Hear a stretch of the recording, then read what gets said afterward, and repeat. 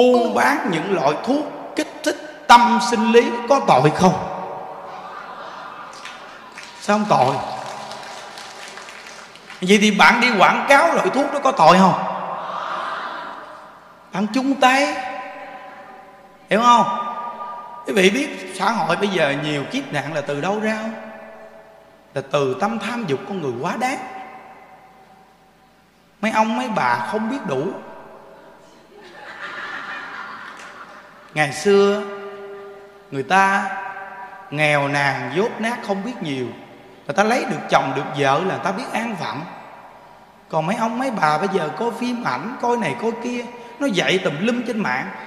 Rồi mấy bà coi xong rồi mấy bà lại đòi hỏi cái thêm cái, cái sự mà gọi là kích thích nội tâm của mình như thế nào. Nên nó sanh ra những cái ý niệm sai lầm của những con người thông minh nó chế tạo những loại kích thích để tâm sinh lý của người để thỏa mãn dục vọng của mình. Rồi lấy đó để làm ra cái hành trang, cái tiền bạc mà tạo ra cái nghiệp chướng trong cái cõi đời này. Quý vị biết, cái sức con người nó giác được 50 kg thì cứ cho nó giác 50 kg đi thì mình tồn tại được 20 năm. Quý vị kêu nó giác 70 kg thì nó tồn tại tại có 5 năm thì nó chết queo rồi. Quý vị lạm dụng thì quý vị sẽ tự hại mình. Nó không có cái lợi ích gì cho quý vị cả. Nên cái hạnh phúc của con người đến với con người, cái đạo đức và trung thủy, thương yêu, nhiệt tình, nó chiếm ưu thế 80 phần trăm trăm thì nó mới gầy dựng được cái hạnh phúc. Còn nếu như mà đạo mà mà dục vọng nó chiếm ưu thế 80 phần trăm, mà đạo đức 20 phần trăm, thì xã hội này kiếp nạn dễ đầy. Chứ làm sao? Để biết rằng họ có thể là người có học, nhưng họ có không thể nhìn sâu sắc ra đời của con cháu mình sao? Họ có thể đưa bộ mặt ra để mà quảng cáo những cái loại như vậy.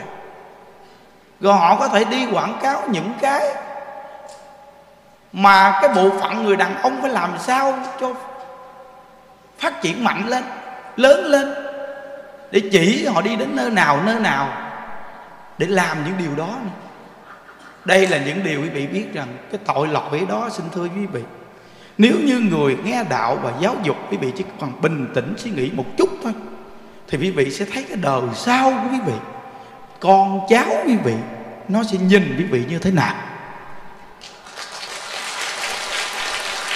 Nên cái xã hội phát triển về nền văn minh, văn là sự hiểu biết, minh là người sáng suốt. Sự hiểu biết sáng suốt mà con người chỉ biết kiếm tiền mà quên đi cái bộ mặt thật của mình. Hiện tại nó nằm ở đó ai mà dám đưa bộ mặt ra làm điều đó được? Nhưng con người ta vì tiền người ta quên mất tiêu. Người ta cho rằng xã hội phát triển nó như vậy là bình thường. Nó bình thường với những người không biết giáo dục. Chứ nếu như biết giáo dục, đó không phải là cái bình thường. Hiểu không? Quý vị thấy loài người chúng ta khi dục vọng nếu như một con người mà dám đứng trước mọi người để làm chuyện dục vọng thì con người này thì còn nói gì là loài người nữa. Quý vị thấy mỗi lần vợ chồng ăn ở nhau, chúng ta đều vô phòng đóng cửa là tắt đèn, đúng không? Mở đèn mà sáng rực rỡ, chúng ta cũng thấy ngại nữa. Nên đều phải tắt đèn thì là chúng ta biết cái việc làm này nó không có đẹp đẽ gì. Nhưng vì chúng ta sống ở cõi đời này, vì cái tâm sinh lý của người mình mà mình phải biết, bị trao đảo vì nó. Nhưng đều phải tắt đèn quý vị thấy, ít bao giờ mà chúng ta mở đèn rực rỡ lắm. Đều là tắt đèn hoặc đèn mờ không à. thì mình biết cái việc làm này nó đâu có đẹp gì đâu quý vị. Mà đi khoe hoặc là mình đi dạy người ta, có những người, những đức thấy họ rất là sáng sủa, rất là đẹp. Nhưng họ lại đứng, họ chỉ dạy gì những cái việc đó cho người ta luôn. Rồi con cháu mình sao? Rồi con cháu mình nó nhìn mình là cha mẹ, ông bà mình để làm cái nghề đó, những đoạn video đó quay lại, để lại lâu dài quý vị biết cái quả báo này cỡ nào chứ? Nếu sau này quý vị gặp cái quả báo quá lớn lao, những đức thiên quý vị quay đầu ăn chay niệm phật liền đi. Còn bây giờ nói thì chắc chưa nghe đâu. Ở khi trong lòng cũng tức á, nhưng tức thì làm gì được nhau? Tại vì tôi nói cái điều này nó rất phù hợp vào nhân sinh, giáo dục quý vị à. Chứ tôi đâu có nói nặng lời gì đâu, tôi chỉ là nhìn nhận. Con người chúng ta nhìn nhận được để chia sẻ cho nhau hãy bình tĩnh suy nghĩ kỹ lại, nghề có nhiều nghề để kiếm tiền, nhưng có những cái nghề mà chúng ta thấy rằng tạo nghiệp trước cho con cháu mình nhìn thấy cũng mắc cỡ tôi nói thiệt, đặt tôi là con cháu người ta, nếu ông bà cha mẹ tôi làm những nghề đó tôi thấy cũng ngại tôi nói thiệt ngại đó. nhớ, thí dụ như nhà quý vị treo một cái bảng để bán bán loại bao thì quý vị nghĩ, bước vô cái nhà quý vị bị thấy cảm giác làm sao? Dù nó là cái chuyện bình thường của thế gian, nhưng mà vì thấy cái ngôi nhà đó bị thấy lạ không? Quý vị có thể dám để cái bảng đó trước trước nhà vì không? Không có mấy người dám để. Nhưng mà nếu thiếu phước thì dám để. Đúng không? Ví dụ như giờ nhà mình đám cưới, đám dỗ gì, ông bà cha mẹ người thân đến, tự nhiên thấy cái nhà mình bán cái đồ đó tự nhiên ai ghé lại cái thấy cũng ngại ngại bị công nhận không? Cái việc đó nó nó bị phản cảm quý vị. Nó lạ gì tuy là nó rất bình thường nhưng nó phải che giấu ở vị trí nào. Chứ không phải là để cái bản hiệu lớn thiệt lớn trước cửa nhà mình. Những đức tin chắc nhà đó thiếu duyên thiếu phước. Chắc chắn cái điều luôn. Cái gia đạo gì đó quán quỷ nó hội tụ đông lắm. Quán quỷ nó hội tụ rất là đông. À, cái gia đạo đó vợ chồng khó hạnh phúc chắc chắn nên, những loại thuốc để giúp cho người khác phát triển về tâm sinh lý dục vọng, đó là một cái điều làm hủy hoại sức khỏe của con người. Nhớ, hủy hoại sức khỏe của con người. Nên những đức mong rằng những người nghe giáo dục, nghe đạo đức, hãy chấp nhận cái mà mình đang được đi. Và vợ với chồng nên bồi dưỡng đạo đức về sức khỏe lâu dài. Đừng nên vì một chút ham muốn tìm tòi mới lạ mà để đánh mất thời gian dài của hạnh phúc về sau. Nhớ, xin thưa quý vị, khi sanh con ra đa phần con ngu si và con hư hỏng, tại vì tâm như vậy, nó sẽ không có cái hạt giống tốt cho xã hội đâu quý vị xin thưa quý vị, nên loài người chúng ta về sau sẽ rất là tệ. Tại vì sao? Vì đa phần tạo ra một cái hạt giống rất hư. Người xưa tuy người ta ít học, người ta hiền, người ta khờ. Nhưng mà lại có thánh nhân ra đời rất nhiều. Nhưng người bây giờ quý vị kiếm bậc mà trung quân ái quốc đã khó rồi. Kiếm hiếu tử khó lắm. Kiếm mà dâu hiền dâu thảo cũng khó. Quý vị thấy sách xưa người ta ghi lại chưa? Con trai hiếu, con dâu thảo nhiều không? Quá nhiều, nhưng bây giờ quý vị thấy rất là ít. Vì sao? Vì con người người ta chạy theo cái tâm dục vọng của xã hội phát triển, nên hạt giống đa phần bị hư. Đa phần bị hư. Câu số 2 làm cho con em mất ý chí học tập. Nghề gì? Mở tiệm game chơi thâu đêm suốt sáng. Mở cho chơi giải trí thời gian được mở mà để cho chơi, thâu đêm suốt sáng. Nhưng đức hỏi quý vị quý vị muốn con quý vị thâu đêm suốt sáng chơi game không? Rồi làm sao bé học đây bé thức khuya chơi game, tâm trí đâu để học. Nên những đức nói rằng quý vị mua điện thoại cho con quý vị xài, nhưng phải quản lý điện thoại. Quý vị bây giờ làm không được rồi. Đúng không? Bây giờ những đức nói quý vị là con quý vị, nó nó đặt quý vị ngồi đâu, quý vị ngồi đó. Chứ không phải quý vị đặt con đâu. Mà nó còn nhỏ, nó còn đặt cho quý vị. Không chi sau này nó lớn lên thì nó muốn hắt quý vị đi đâu mà không được. Đúng không? Nên những đức chỉ quý vị quý vị có cơ hội gặp được cơ hội tu phước duyên gặp được một cái ngôi chùa như chùa mình mà những đức đã nói rồi đời những đức từ bây giờ đến chết là sẽ hết lòng. Về ngôi tam bảo. Hiểu rồi. Không cần nói cái gì mà nói dòng do gì, tích lũy gì hết trơn á. Thứ giả tạm, tích lũy làm gì? Chúng ta đã biết được điều đó rồi. Thì chúng ta nên làm cái âm đức hay hơn là cái chua lại cho những cái hạt giống hư kia. Để bản thân của nó phải phấn đấu cố gắng lên. Nó không trông chờ vào cha mẹ nữa.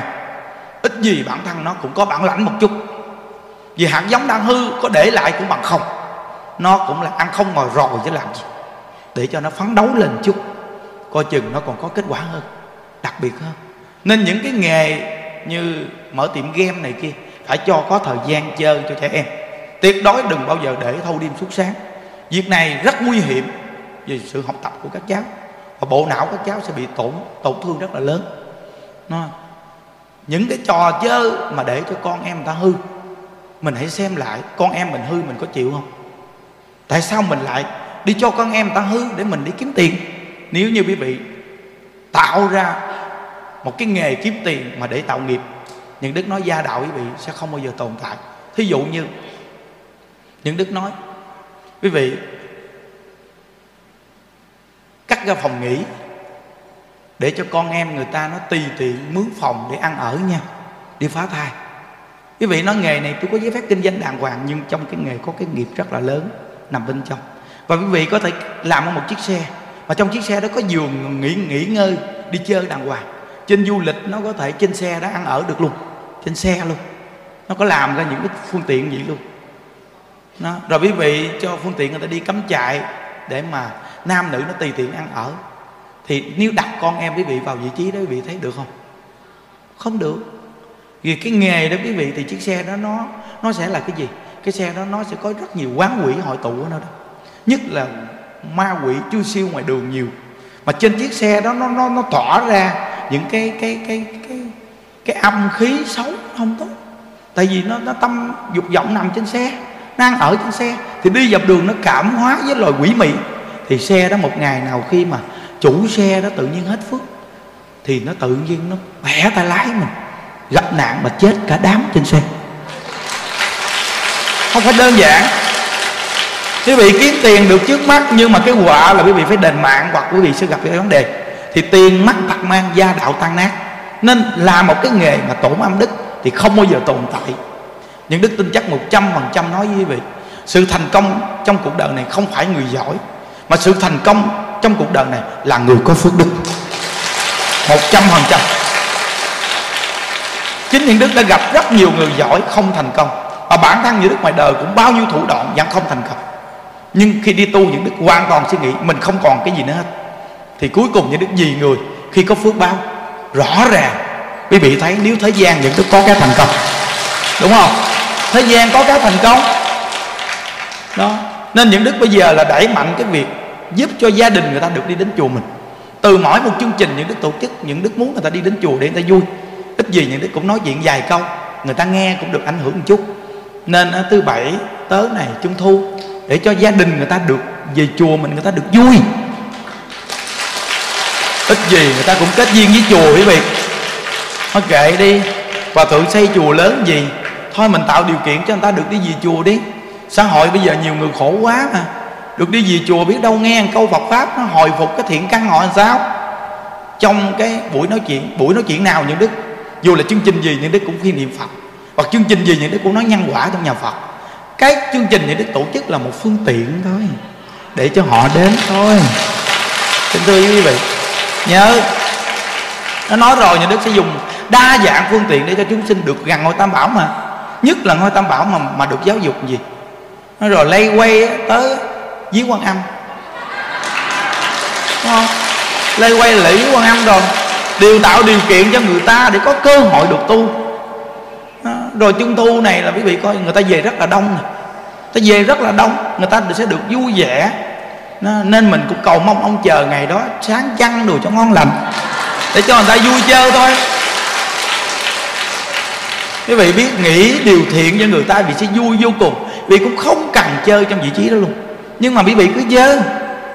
Riêng bản thân những đức cảm giác nhìn từ xa cũng thấy vui rồi. Cứ cho người khác vui là bản thân mình vui. Cảm giác này một trăm phần trăm là những đức hưởng được. Như nấu ăn đồ cho chúng, những đức có ăn miếng nào đâu. Không ăn miếng luôn. Uống miếng nước lạnh. Hoặc là thấy người ta ăn, cũng cố gắng cầm miếng trái cây. Những đức thường như ăn chuối và ăn lê, miếng cắn cắn cắn, miếng ăn rồi xong chứ không ăn một cái thứ gì hết chứ. Chỉ mong thấy người ta ăn được ngon là mình thấy vui rồi. Mà còn đi hỏi người ta ăn ngon không nữa chứ. Đó. Nên những đức mong quý vị nghe Phật pháp rồi nên làm Bồ Tát ở gia đình để phục vụ những con người ở trong gia đình chưa biết tu đó. Nhiệt tình mà làm Bồ Tát đi. Hãy hết lòng phục vụ họ đi. Để đời này mình vừa cực lạc mà đúng không nên tránh bớt đi những cái nghề mà những đức nêu một số nghề. Quý vị, nghe không nghe là thôi, nhưng mà nếu một ngày nào gia đạo lại có chuyện gì xảy ra, quý vị đừng có nên than thân trách phận, đừng có trách ông trời gì hết á. Mà nói, có nghe ông thầy đã giảng qua rồi, rõ ràng trong cái nghề nó có cái nghiệp cái bên. Giống như nghề nhà máy xây lúa vậy đó. tại sao đa phần hồi xưa dưới quê vậy đức thấy, nhà máy xây lúa nổi lên thế ghê, mà sau này nó chìm ngấm hết trơn thì những đức hỏi một cái người bạn làm nghề nhà máy xe lúa. Người bạn nói, đúng là tạo nghiệp, nghe đạo mới hiểu, ngày xưa không biết. Lúa khi mua, lúa chưa có khô, thì lấy lúa khô trộn với lúa lúa hơi ướt ướt, rồi bắt đầu cho cái độ lúa nó cao lên, xay gạo ra, thì mới lấy gạo khô trộn với gạo hơi ướt để căng nó nặng. Rồi là gian lặng nằm bên trong rồi từng đợt từng đợt rồi đi tới mình là gạo nó còn giảm độ dữ lắm. Rồi thêm nữa đạp dặm gạo lúa. Rồi đổ tháo vứt bỏ. Rồi khi mà nhà máy xây lúa thì bụi bặm bay chòm xốp. Ngửi bụi chấu thì đổ xuống sông. Nên quý vị biết rằng á, mình là người nghe đạo nhớ. Nội mà cái chuyện nhà mình có con dâu đồ mà sinh đẻ cái máu huyết nó không có được giặt đồ ở dưới sông đâu. Phải giặt trong thao chậu rồi đào đất đổ xuống đất lắp lại đàng hoàng. Chứ không có được đổ xuống sông, vì đổ xuống sông người ta sẽ có người múc nước uống, hoặc múc nước cúng phật này kia. Cái tội lỗi này rất lớn, như quý vị nói rằng, việc làm tôi quý vị đâu có biết, giảng rộng quý vị mới hiểu. Là việc làm nó có tác hại bên trong. Hiểu không? Nên con cháu của mình nó bị tội lỗi đó mà con cháu mình khó nuôi. Eo ọt khó nuôi, khóc la, không được ngủ ngon, không yên. Là do cái hành động mình làm là cái nhân từ nó rồi con cháu mình sinh ra sát sanh hại vật đầy tháng này kia đồ, rồi tẩm bổ đồ ăn, sát sanh giết vật.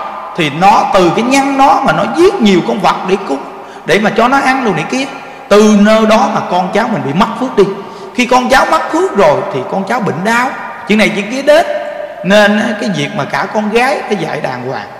Ngày tháng tính nguyệt tuyệt đối không có được bày hày cả đi đến cái cái cái nơi vệ sinh công cộng không không được thao, tháo ra rồi vứt đại, bừa bãi. Người ta gặp người ta chỉ cần e ẹ cái thôi. Hoặc là trong mỗi một cái nhà vệ sinh có những loài quỷ chuyên ăn về máu huyết người phụ nữ ngày tháng.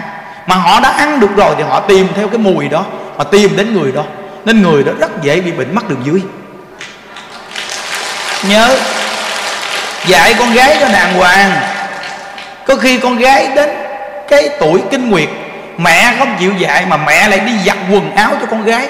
Quý vị muốn giết con gái quý vị hả? Cái thứ đó mà quý vị không để cho nó giặt mà để quý vị giặt. Vì làm mẹ cha, mẹ mà đi giặt cho con gái, cái chuyện đó là thua, có cái cô kia. Cô giặt đồ, chuyên gia giặt đồ cho con gái, cô mà con gái cô 18 tuổi, vẫn để cho mẹ nó giặt hết.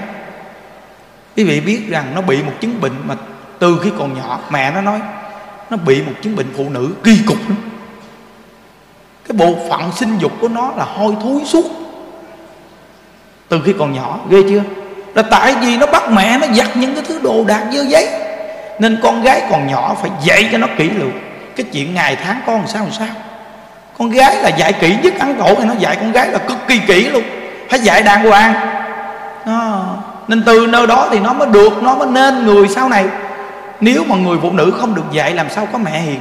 Mà không có mẹ hiền, làm sao có con thảo? Suy nghĩ đi. Vì nghe những điều này rất là quan trọng nghe. Đó là những điều như gạo sơ qua đó. Nghe rồi tự mà nhận thức. Có những cái tội lỗi mà quý vị nghĩ rằng quý vị không có tạo tội. Nhưng mà thật sự, giảng rộng ra là nó có tội. Nằm bên trong không đơn giản. Nên cái cõi này là cái cõi dễ tạo tội dữ lắm. Cẩn thận. Câu số 3 thiết kế những loại đồ hở hang cái đầu não là từ thiết kế đồ đó ra. Nghĩ rằng xã hội nó đang ham muốn, đang thích, phe, thiết kế đủ loại ra, hở hang. Quý vị coi, khoảng 10 năm gì khoảng ở 50 năm về trước. 10 năm thì có rồi 50 năm về trước, thì xã hội người phụ nữ, người ta chưa biết độn lên những loại mà cơ thể người ta. Cơ thể người ta tự nhiên hoàn toàn là tự nhiên tròn là tròn, còn méo là méo, tự nhiên.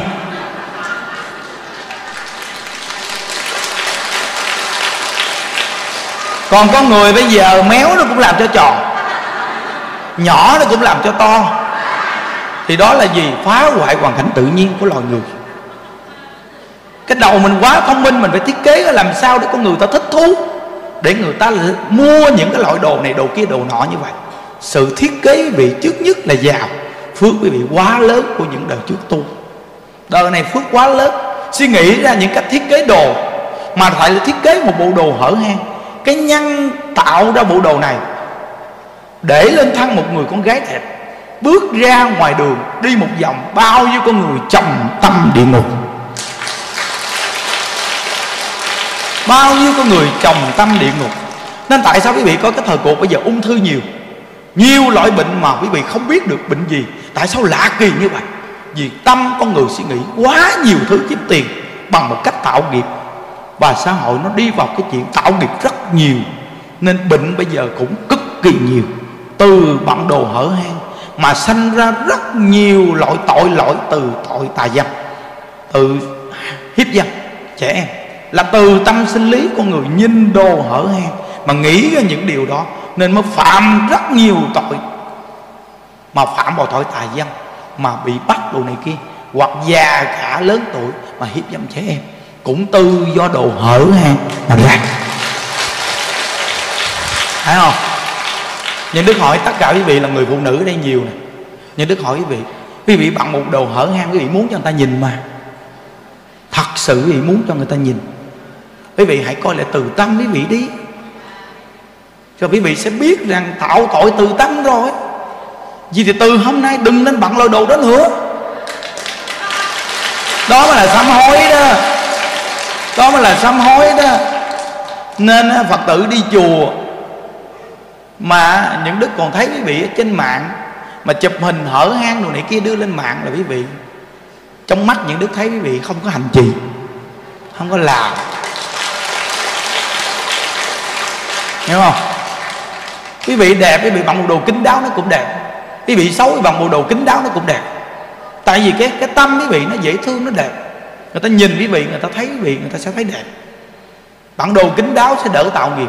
Đại lão hòa thượng tình không nói rằng bằng đồ hở hang tạo tội địa ngục. Một trăm phần trăm hòa thượng tình không nói đó. Quý vị cũng nghe mà. Mà quý vị phải rõ ràng nó gây ra rất nhiều cái cái cái cái điều tội lỗi từ cái cái bằng đồ hở hang. Thêm một cái trong gia đình, cả con dâu bằng đêm ngủ ở đồ mỏng dánh đi trước mặt em chồng, anh chồng, ba chồng.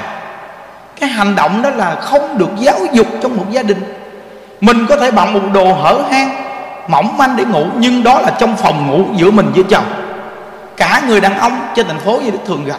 Có khi bằng đêm người đàn ông bận một cái quần ngủ bình thường đi vòng vòng trong nhà. Quý vị coi, con gái mình nó lớn lên với tuổi gì? Nó phải nhìn ra. Con trai mình nó nhìn mẹ hay sao? Mẹ ba mấy, bốn chục tuổi mình bận đồ gì, con trai mình, cái tâm sinh lý nó phát triển, nó nhìn mẹ hay sao? Vợ chồng khi gần gũi, phòng ốc phải đàng hoàng. Chứ không phải là con nằm đó, vợ chồng làm như vậy trước mặt, gần gũi. Có khi nó thức rồi nó để ý, mà nó nó bổ nó ngủ. Tâm sinh lý nhiều đứa nhỏ bị như vậy mà cả đời bị ảnh hưởng về tâm sinh lý đó. Cẩn thận đừng có nói mà theo thời giết rồi, bản thân mình tạo nghiệp mà quạ đến mình không hay. Nó mình là một người cha chồng, mà bận một cái quần đùi, mà cái mà cái quần ống bự nữa chứ. Ăn cơm ngồi trước mặt con cái là bằng cái quần đùi ở chàng. Ngồi ngồi chùm hổm, con dâu trước mặt ngồi nhìn qua. Đàn ông như vậy thì mình cũng là thiếu giáo dục, mình không nhìn ra được. Hiểu không? Còn mình là người mẹ chồng, trong nhà mình cũng bận đồ. Hở hang mỏng manh trước mặt thằng ghế. Một cái gia đình như vậy là cái gia đình không được tiếp nhận giáo dục. Nó mới bị ra thành phần gì? Mà gia đình như vậy thì quán quỷ nó hội tụ trong nhà nó nhiều. Gia đình nó phiền phức lắm. Lu bu lộn xộn lắm quý vị à. Không có đơn giản đâu quý vị, nghe những điều này, những đức nói á. Quý vị hãy xem lại cái xã hội bây giờ, nó phải nó dính quá trời không? Đó. Xem lại đi, rồi tự điều chỉnh, tự khéo léo. Ai không làm, bản thân mình làm. Vậy thì quý vị có kết quả. Nhớ, cái nhà thiết kế mà thiết kế đồ hở hang, quý vị nghe gì rồi, quý vị tùy thì cứ làm thôi, chuyện của quý vị. Nhưng đức nói chuyện của những đức à. Những đức đâu có nói tên ai đâu. Thiết kế thì không biết bao nhiêu nhà thiết kế mà. Đâu phải một nhà. Nhưng mà những đức muốn nói cho quý vị nghe để sau này khi mà lỡ cái quả báo gì đến, quý vị tin chắc rằng đây là có quả báo. Rồi quý vị à, quay đầu học phật đi. Còn sống là còn có cơ hội nghe. Còn bây giờ làm thì kệ. Còn tin không tin thì mặc kệ. Nhưng nghe qua cũng kết duyên rồi sau này lỡ có cái gì không còn chỗ quấn biếu gì hết á, thì vô đây nghe pháp. Đúng không? Đúng không? Lúc đó thì chúng ta cũng chung chung tuổi với nhau thì đến đây học phật. Thì niệm phật nhớ niệm phật niệm phật là việc quan trọng. Nha, rồi chân thật niệm phật đi để cầu giảng sanh. Câu số 4 đóng những đoạn phim làm tâm người khởi dục những đức đã từng đọc một quyển sách mà trong quyển sách đó có một câu một đoạn phim mà để tâm của người khởi dục. Một đoạn phim này chỉ cần chiếu lên chỉ cần đưa ra đĩa, chỉ cần đưa ra hình ảnh. Mà bộ phim này chỉ cần đưa công chúng coi thôi là tất cả những người coi đó chừng nào họ đọa địa ngục mà hoàn toàn những con người đó mà không còn đọa trong địa ngục cả những con người từng nghe qua coi qua và thấy qua mà không còn trong địa ngục, thì cái người đóng phim này mới thoát địa ngục.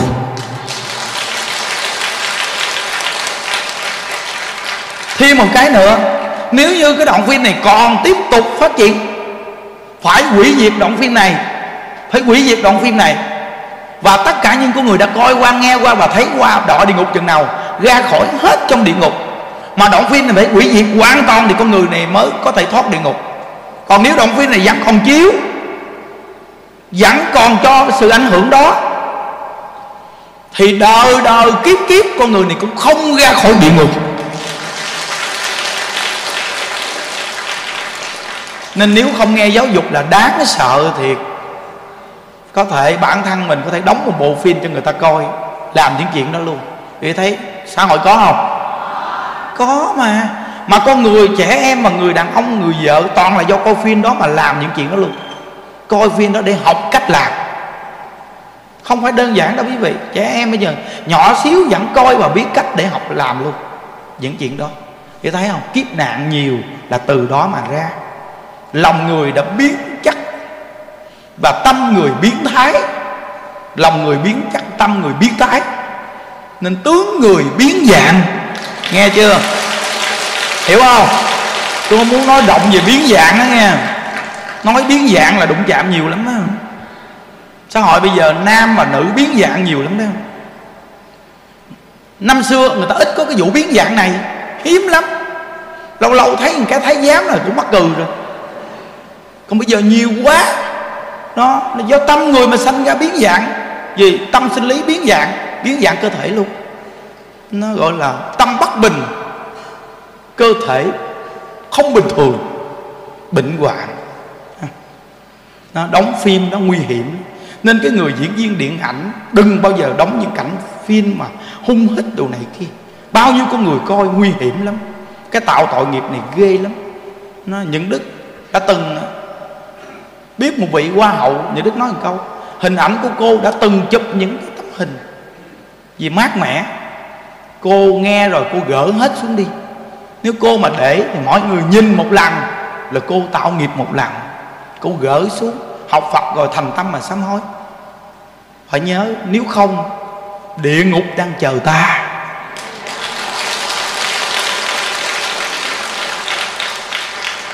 Bận đồ hở hang chụp hình quảng cáo. Cái dốc dáng đẹp là do từ cái tâm cúng hoa cho phật tâm cung kính, tâm biết ơn, mà có dốc dáng đẹp. Tu phước duyên đó mới có dốc dáng đẹp. Quý vị biết dốc dáng mình xấu là từ đâu? Từ thiếu cung kính đó, nên lùng lé hôi súng lưng tôm, không có thẳng lưng. Người ta là cung kính ngay thẳng, nên người ta sanh ra cao ráo đẹp, dáng dốc đẹp. Nhưng cái phước báo lại đẩy người ta vào cái nghề hình ảnh, chụp hình quảng cáo để kiếm tiền vì họ có tiếng tâm, họ có dốc dáng đẹp, nên từ nó đó họ lại làm nghề này. Mà nhiều loại đồ để họ đi chụp lên phe hình ảnh, phe thân thể, thấy không? Nguy hiểm lắm. Tạo tội nghiệp này ung thư, bệnh về sao bệnh cơ thể, bệnh về thân thể nhiều lắm. Chưa tới, chứ không phải là không tới, nhớ nha. Viết tiểu thuyết khiêu dâm một con người có trí thức, học thức mà lại cầm ngòi bút lên, viết những bài viết khiêu dâm, dạy dâm dục. Đúng là lấy văn chương để mà vạch ra sự tồi bại. Vạch ra để cho người ta tránh. Còn hay, con này là dạy người ta để làm điều đó. Hồi xưa như lúc còn thanh niên trẻ trẻ, có nhiều bạn nó mua những quyển sách về, nó đọc mà đọc nó chưa làm điều gì chứ nó đã khởi tâm. Nên tư nó đối vị biết rằng viết những quyển sách này, trời ơi không có ngày ra. Vì con em người ta đọc đến một cái là hư bộ não. Nhất là tuổi trẻ là nó bị lờ mờ cái tâm trí luôn. Mà đúng là một ngòi bút mà ghê thiệt chứ. Nó có thể tổn hại cực kỳ lớn như vậy. Người ta mà nghe qua đoạn này một cái đi, người ta nói ổ giết gan vậy làm gì tạo nghiệp? Ông ông nghĩ đi, bà nghĩ đi. Con của ông bà coi qua rồi nó khởi tâm vậy, nó đi tùm lum, lan chạ với người ta tùm lum. Vậy có tội không? Rồi chồng người ta, vợ người ta coi qua thì khởi tâm tùm lum tùm lá chứ, tội không? Rồi ông coi phim ảnh là có một câu chuyện mà hai anh em nó nằm coi phim, cuối cùng hai anh em nó làm với nhau. Người cha có chức phận về gặp hai đứa con vậy, giết hai đứa con tại chỗ ghê không? Vì từ đâu mà ra phim ảnh từ đâu mà ra tiểu thuyết. Viết những cái cái cái cái đoạn văn mà nó làm cho khơ khởi tâm con người ghê lắm. Kiềm chế không được. Từ nơi đó phải là cái nhân địa hại người không? Mà cái nhân địa đã hại người thì bạn tội lỗi chứ làm sao? Nó nên quý vị nghe Phật pháp rồi. Dù là nói lên những cái nghề không phải dính quý vị nhưng xem lại cái nghề quý vị. Tỉ mỉ cho kỹ nghe. À, để tránh bớt thấy không? Đó. Bây giờ nói xong rồi một chút mới kết luận lại là bạn nên sám hối như thế nào. Dạy người dâm dục. Có trên mạng có dạy người dâm dục không? Nhìn sang trọng, nhìn đẹp, dạy người dâm dục. Ghê thiệt. Ở đâu mà đưa ra cái mặt gì mà làm được hay? Làm mẹ, làm cha người ta mà mà đi dạy người khác làm điều đó. Công nhận thì nói là văn minh gì cũng không hiểu luôn. Hiểu không quý vị? Ai mà làm được cái nghề đó? Quý vị nghe điều này, quý vị đi làm nghề đó được không? Dù bao nhiêu tiền cũng không dám làm cái nghề đó. Không, cái người này nó quá thiếu duyên, thiếu phước mới đi làm cái nghề đó quý vị. Mà sáng sủa mà cũng đẹp lắm nghe. Mà tự diễn mình rồi nói ra để chỉ người đó. Ngồi tự mà nghe gì bất chợt nghe được dù có tức gì đi chăng nữa thôi, cố gắng đè phục xuống. Không? ông thầy ông nói ông cũng vì chúng sinh. Ăn tổ, năm xưa ăn tổ dạy người kỹ lắm. Nhiều người nói ăn tổ tại sao là một vị tăng, một vị thầy mà tại sao nói nhiều chuyện? Vì phụ nữ này kia ăn tổ này nói, cái vị không hiểu. Có người người ta không phải, không dạy người ta. Như vậy thì quý vị còn tâm đâu từ bi. Vì cái danh cái của mình, sợ người ta cười chế mà mình không nói mà quý vị không nói chân thật thì quý vị thiếu sự từ bi. Ai có nói tôi mặc kệ tôi gì mọi người mà nói. Ăn tổ á người ta có đọc sách ăn tổ nói rõ ràng mà. Nó, nên nhiều người người ta nghĩ rằng bây giờ người ta là người trí thức hiểu biết. Không ai để lấy cái miệng nói những câu này sợ dơ miệng. Cái miệng nó không có dơ sợ cái tâm quý vị ở bên trong nó dơ á. Hiểu không? Cái văn tự nó đâu có làm cho bị dơ miệng đâu mà cái tâm quý vị nó mới dơ á. Nên từ đó hãy xem lại cái tâm mình á, chứ văn tự để dạy người có đâu dơ. Quý vị ngồi, quý vị nói tục, nói tiểu, một mình quý vị với một hai người đến tầm bậy thì cái đó là dơ miệng. Còn cái đây là nói cho bao nhiêu con người nghe để cảnh tỉnh cuộc đời. Mà làm gì dơ miệng, người ta cảm ơn không hết. Từng đời sau con người nghe tự mà cảnh tỉnh. Hiểu không? Có những khi người ta chưa từng được dạy gì sao? Khi người ta nghe ra sau này người ta cũng được gieo cái duyên. Là lỡ người ta có gặp kiếp nạn, bệnh hoạn hay sự cố gì trong cuộc đời, người ta vẫn nhớ lại lời ông thầy giảng, chắc chắn cái này là quả báo thiệt rồi. Nhớ. Câu số 8 chỗ chứa gái, chứa cờ bạc. Nhà mình cắt ra mà chứa người làm gái mà chứa cờ bạc, chớ chứa người ăn chơi. Đây là quý vị đang tạo điều kiện cho người ta đi tạo nghiệp. Để trục lợi. Xã hội này bao nhiêu con người làm chứ không phải một cá nhân ai đâu quý vị. Chúng ta đâu có hài tên của ai đâu. Nhưng bây giờ người ta đang đương thờ người ta không tin đâu quý vị. Nhưng hồi đó những đức biết một cái cô này, ở trên thành phố quận 6 giàu dữ lắm. Cô làm nghề đó đó, cô giàu, cực kỳ giàu luôn, cô cũng đi đến chùa.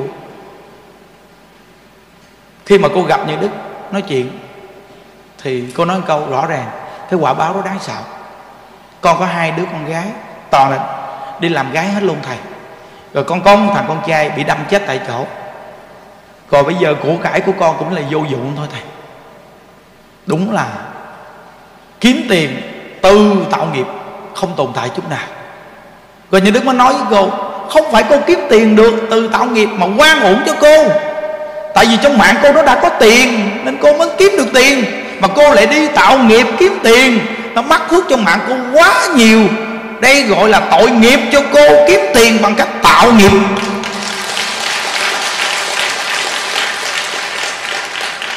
Bây giờ những đức nói cho cô nghe, nếu như trong mạng cô mà không có tiền, dù cô có làm cái nghề đó, cô không có tiền nữa. Những đức nói cho quý vị nghe, có những người phụ nữ nói rằng, con không làm nghề này, con làm nghề gì mà sống thầy những đức nói, nếu trong mạng cô không có tiền cô đi cho không nó, xong nó cũng đá cô đá, nó không đưa tiền. Trong cuộc đời những đức đã từng biết những chuyện này mà. Tập trung ba bốn thằng ngủ một người. Xong làm xong, xô nó tóc chảy. Trong mạng em đã không có tiền thì em làm chuyện này em cũng không có tiền. Nhưng em có tiền là do gì trong mạng em có tiền.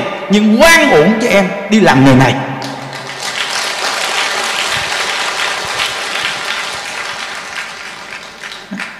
Nghe thầy nói bỏ đi em. Bỏ nghề đi. Con người mà ai cũng có cái sai. Trong thời của đức phật đó, bà liên quan sắc bà cũng làm nghề. Nếu mà nói bây giờ cũng làm gác nhưng mà bà quay đầu bà tu bà còn chứng quả a la hán mà. Trong nhà phật có câu nói quay đầu là bờ. Con người ai mà thích lấy bùn nhơ chay vào mặt mình đâu. Mình làm mẹ làm cha người ta mà mình đi làm nghề để kiếm tiền đi móc tiền người này cho tiền người kia, nghề này đâu có đẹp. Mình làm vậy lương tâm mình thấy thì sao? Có đẹp không? Mình là một người làm mẹ anh ta, vì còn sắc đẹp quý vị đi, lấy cặp chồng người ta, lấy tiền đàn ông để nuôi con vì đồng tiền này nuôi con không có đẹp, thà đi lụm rác nuôi con còn ngon hơn. Đừng có làm nghề đó, bỏ đi. Ví dụ như chồng mình mà người ta đi lấy chồng mình vậy, lương tâm mình thấy thì sao? Mà mình đi lấy chồng người ta mình cũng chống chui chống nhủi thế một có khi còn bị đánh ghen con mình xấu hài xấu mặt. Bỏ trước khi thời gian nạn tới. Vẫn là hay. Nó còn mình là đàn ông đẹp ngày xưa những đứa con thằng bạn trong thành phố đẹp trai lắm. Thằng nó đẹp trai lắm. Tướng như là ca, ca sĩ để tóc dài đẹp trai lắm. Những đức là xấu nhưng những đức rất thích chơi bạn phải đẹp. Ngày xưa những đức ngoài đời những đức có một quan niệm gì quý vị? Nhưng mà những đức ngoài đời cũng không có đến nội tệ quá tại vì ngày xưa cũng biết ăn diện. Vì biết rằng là những đức rất thích chơi bạn là bạn những đức phải coi được trai bạn nữ bình thường cũng phải coi được vì sao? Vì đức nghĩ mình xấu mình đi với mấy đứa đẹp mình cũng được chen chút. Nghĩ vậy đó. Nên những đứa con thằng bạn mà ngày xưa mình không hiểu đạo mình cũng ngưỡng mộ nó ghê. Nó chuyên gia nó, nó, nó sống với mấy bà sồn sồn. không mấy bà đó phải cho tiền đó. Rồi nó đi nuôi con gái trẻ. Mà quý vị tin không? Tới cuối năm tới tết nó còn mượn tiền cho đức đi về quê xài. Nó đi kiếm tiền của mấy bà già già mà cho thành phố ưa có vụ này lắm. Nơi thành thị là nhiều. Tại vì cái người phụ nữ người ta có tiền nên người ta sanh tâm nhiều lắm. Hồi xưa nè rồi mình mình mình đi mình, mình biết quá mà.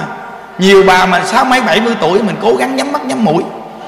Thằng nó nói nó nhắm mắt nhắm mũi còn mình thì xấu quá, mấy bà cũng không cần mình. Nói vậy cho dễ nghe. Tại mấy bà có tiền, mấy bà phải lựa cái thằng bự con, to con, đẹp trai.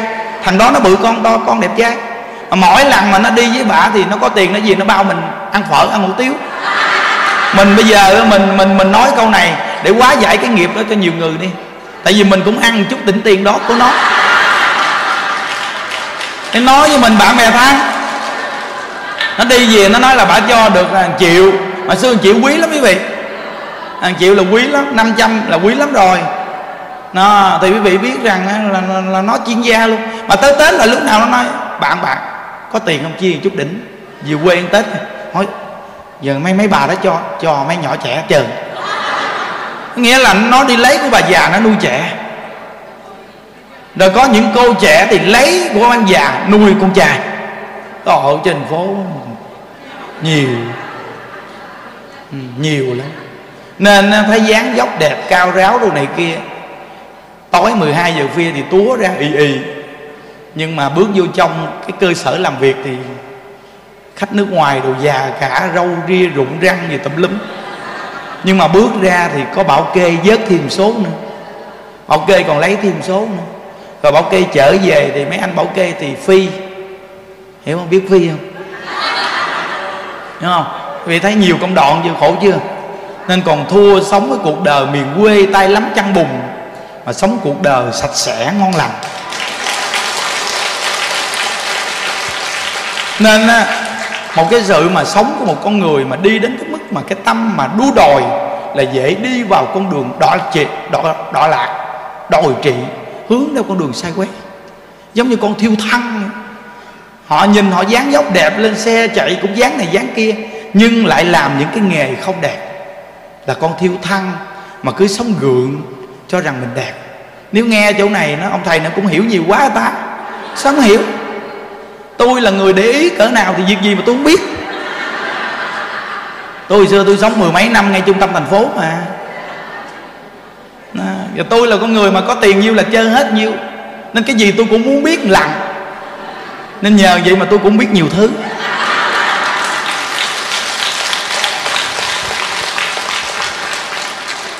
Bạn nhà đức trên thành phố ngày xưa cũng nhiều bạn ăn chơi lắm quý vị. Nên từ nơi đó mình nó chơi thì sao? Nó nói với mình nghe mình biết. À, nên từ nơi đó mà những đức nói rằng con người quay đầu vẫn là tốt quý vị. Tôi bây giờ tôi nói thẳng gì người ta vẫn quý mến tôi. Đúng không? Chúng ta đừng bao giờ nói rằng những điều sai đó mình che giấu đi bậy ai không có cái sai. Vĩ vãng của cuộc đời, ai cũng có cái sai hết. Nhưng mà biết quay đầu điều đó quý quá. Đúng không? Mình có trộm cướp gì thì chăng nữa, nhưng quay đầu điều đó người ta kính trọng mình chứ gì đâu. Ai mà không từng có tâm tham lam. Đó.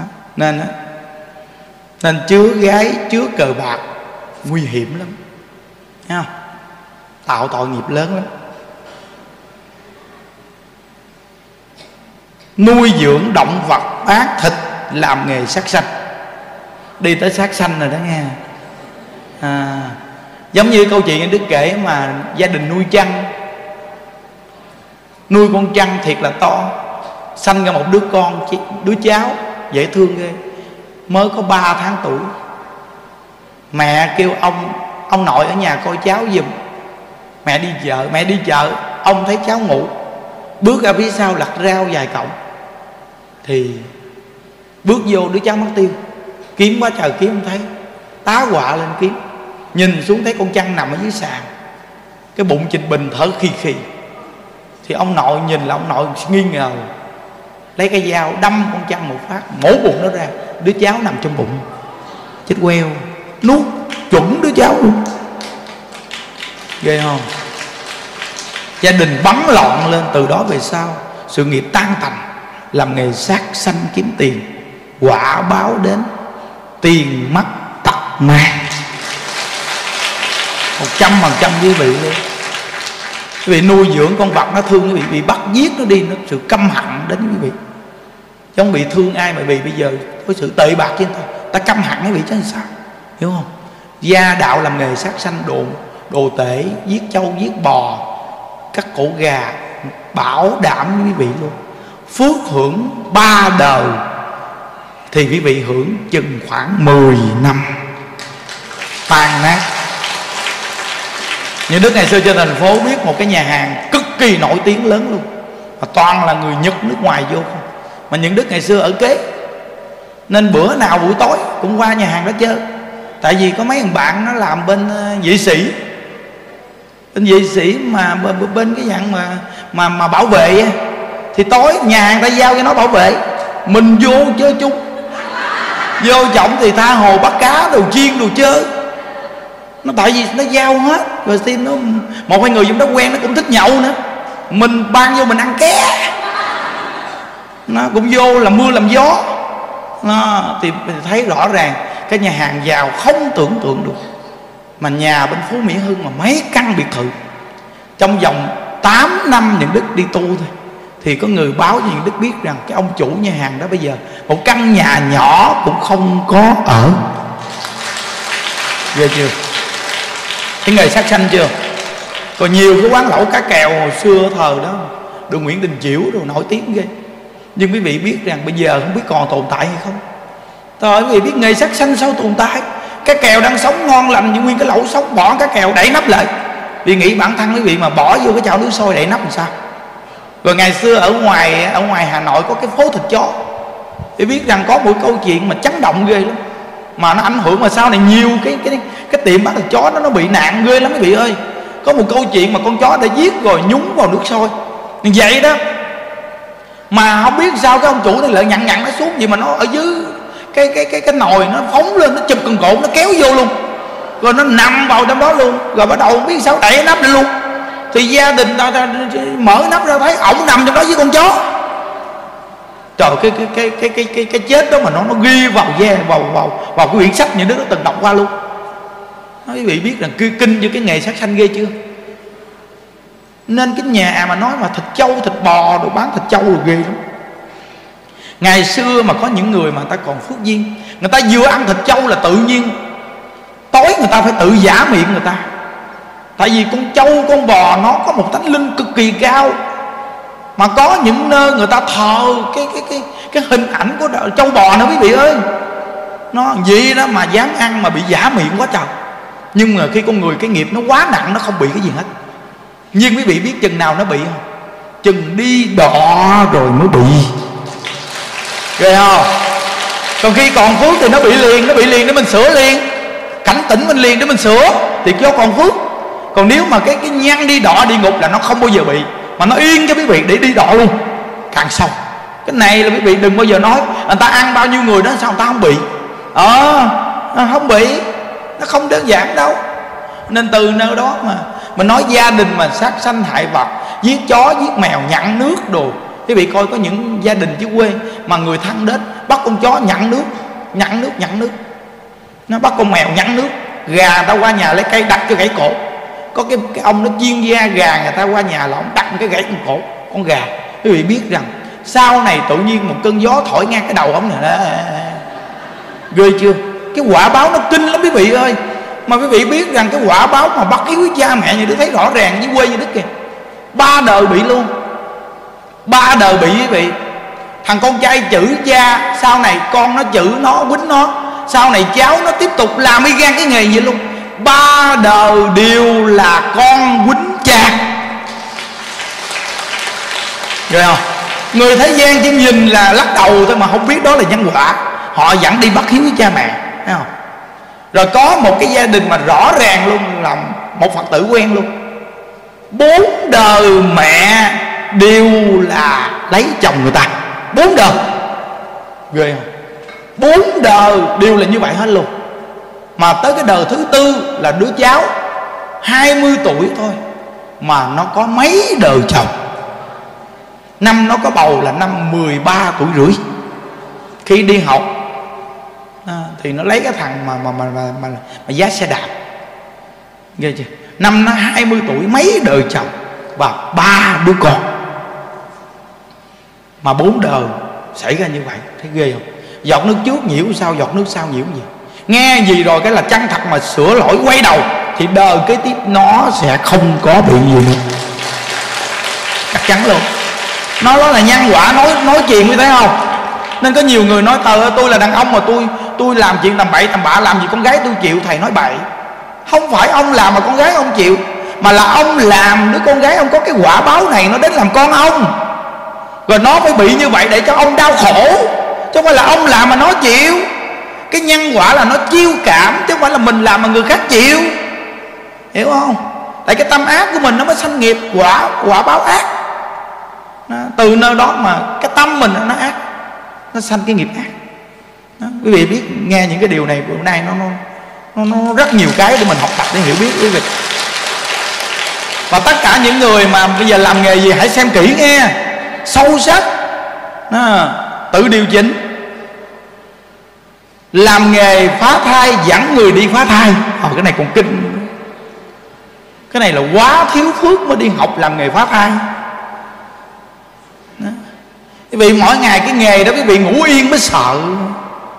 Quý vị lúc bình thường quý vị còn phước bị ngủ yên. Những đức nói một thời gian đố quý vị ngủ yên. Quý vị coi bây giờ cái nghề mà chăm sóc sức khỏe người ta để con nít được lớn lên thì còn tốt. Còn cái nghề mà để để để, để giết con nít cái này quý vị nghĩ sao? Nó tìm đến quý vị mà không biết còn đi dẫn người ta phá thai.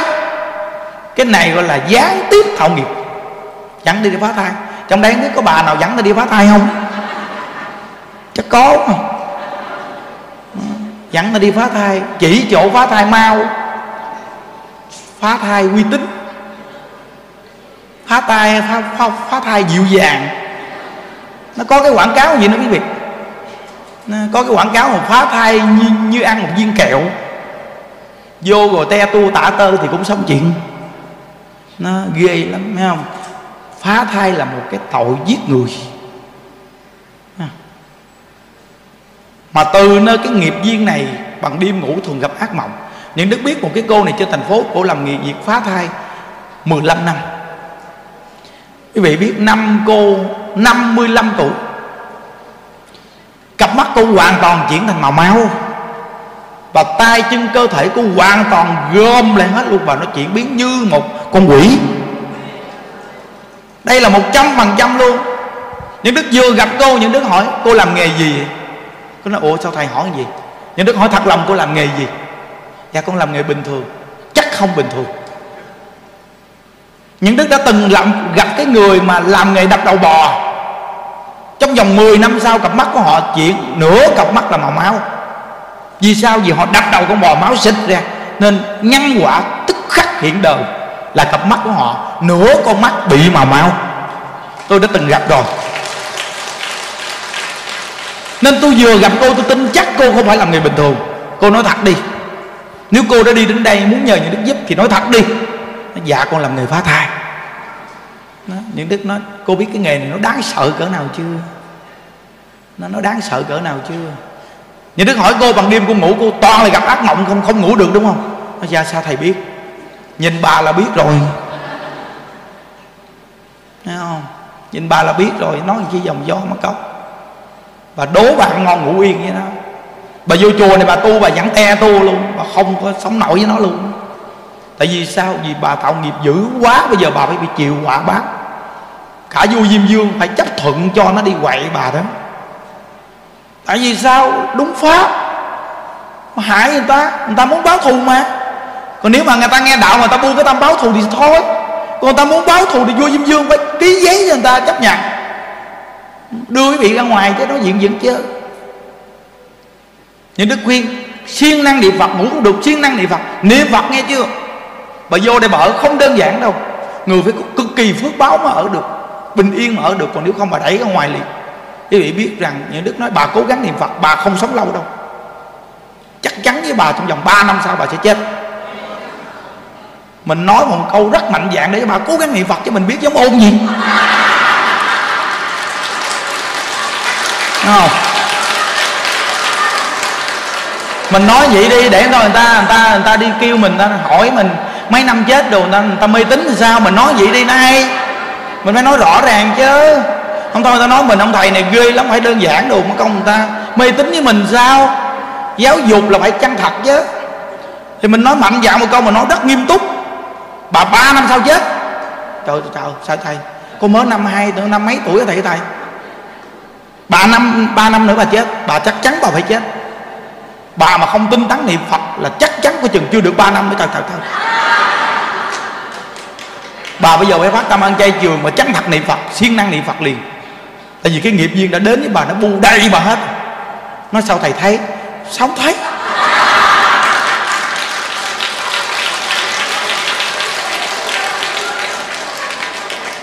Bây giờ những đứa hỏi bà bằng đêm mà ngủ, trẻ em nhỏ, trẻ em lớn, người lớn cũng bu lại bà, đúng không? Nó, đúng là thầy, thấy thiệt, đúng y gan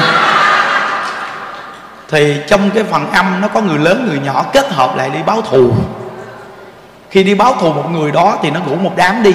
Khi đi báo thù người đó là ngủ một đám đi. Cái này mình suy nghĩ ra thôi chứ mình có thấy đâu. Hiểu không? Suy đoán thôi. Suy đoán thôi. Hiểu chưa? Bà về bà chăng thật, bà cố gắng niệm phật rõ ràng. Hai năm rưỡi bà chết quên ghê chưa? Đừng nói chuyện dẫn chơi. Vì bà văn nghiệp phá thai cả chục năm, mười mấy năm mới bị biết. Phá thai biết bao nhiêu đứa chưa? Gia đình của bà, con của bà hỏi, mẹ con thác sinh về đâu? Nhưng đức nói, bà về cực lạc rồi. Tại bà nghe lời như đức niệm phật thì bà về cực lạc thôi. Tôi mong muốn bà về cực lạc. Hiểu không? Ví dụ như bây giờ chùa mình người mắc toàn vì đó là đưa người giảng sanh không? Có nhiều người hỏi như đức thì sao thầy biết ta giảng sanh mà đưa người giảng sanh? Thì tôi đưa người giảng sanh. Người ta muốn giảng đi đâu thì cái chuyện của người ta. Chứ ông muốn tôi nói câu gì? Tôi là niệm phật, khuyên người niệm phật giảng sanh. Thì là đưa người giảng sanh, chứ không lẽ đưa người đi địa ngục? Còn người ta muốn đi đâu là nhân quả của người ta? Hiểu chưa?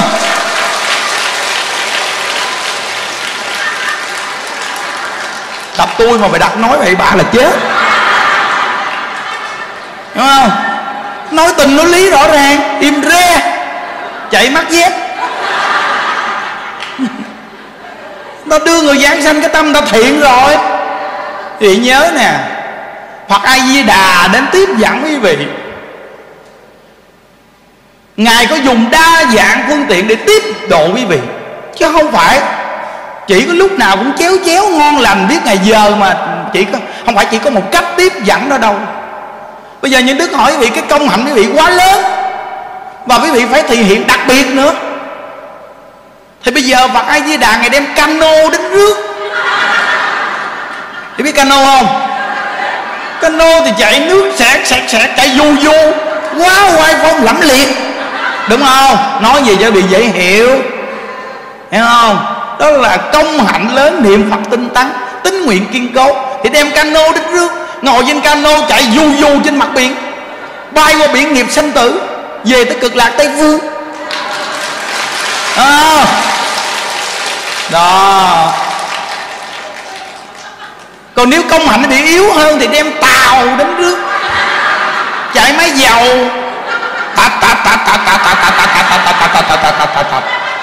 thì nó không đặc biệt bằng cano đúng không quý vị? Còn quý vị công hạnh yếu nữa thì chơi xuồng ba lá. Hoặc ai di đà ngày từ bi lắm, ngày dùng xuồng ba lá, ngày bơi ra cứu quý vị được không? Công hạnh bị yếu. Quý vị coi những đức hỏi quý vị nè một cái người thiệt nổi tiếng người ta rước khác. Một người nổi tiếng vừa vừa người ta rước khác.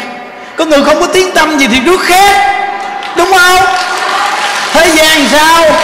Thì công hạnh đó mà theo vậy mà hưởng. Quý vị nói ờ, là ưu ái hay không ưu ái hả? Tầm bậy. Phước duyên mà sanh ra ưu ái hay không ưu ái. Cái làm gì có chuyện công bằng hay không công bằng? Cái công bằng là ngay phước duyên quý vị mà sanh ra. Nên người ta đến tiếp dẫn quý vị theo phù hợp vào phước duyên quý vị. Gọi là đừng đòi hỏi hình thức công bằng. Hãy tin sâu nhân quả đúng không? Nó, thì có những người bạn ai đà cũng đem xuồng ba lá ra rước. Hiểu không? Có những người mặc a di đà chơi bè chuối ra rước được không?